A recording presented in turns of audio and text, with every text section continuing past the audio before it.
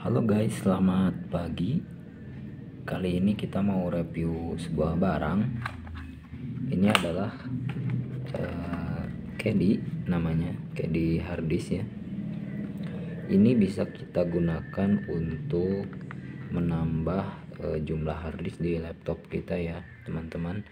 Ini bisa dipasang untuk uh, menggantikan CD-ROM kita. Jadi nanti CD-ROM kita dicabut dan ini kita masukkan ke tempat CD-ROM yang sebelumnya kita copot ya teman-teman. Nah dalam pembeliannya ini kita dapat seperti ini teman-teman.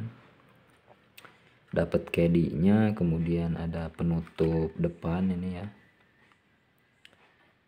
Penutup depannya juga obeng kita dapat dan empat buah skrup teman-teman buat e, mengencangkan harddisk ya. Seperti ini tampilannya teman-teman harganya juga cukup murah. Saya beli di toko online ya.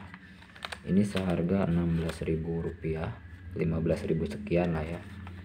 Ini bervariasi sebetulnya harganya. Silahkan teman-teman cari aja ya di toko online kesayangan teman-teman.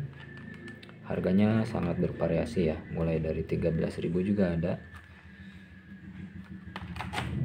Nah cara pemakaiannya seperti ini teman-teman. Setelah kita buka ini memang eh, maklum ya karena harganya murah. Nggak terlalu solid teman-teman. Ini menggunakan eh, apa namanya kaleng ya kaleng yang tipis sebetulnya ini. Sangat ringkih sekali. Nah nanti kita tempatkan harddisknya di sini. Dimasukkan ke sini kemudian kita uh, tancapkan ke slotnya ya nanti kita bisa baut di sini teman-teman. Menggunakan uh, skrup yang tadi ada empat biji ya yang udah disertakan. Nah setelah itu kita tinggal tancapkan saja ke tempat CD-ROM teman-teman. Ini dia konektornya ya sama ya dengan CD-ROM CD-ROM pada umumnya.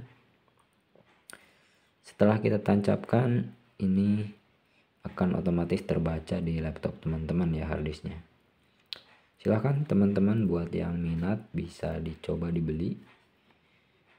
Nanti saya sertakan ya link pembeliannya di deskripsi kalau mau e, beli yang seperti saya ini teman-teman. Oke terima kasih yang udah nonton.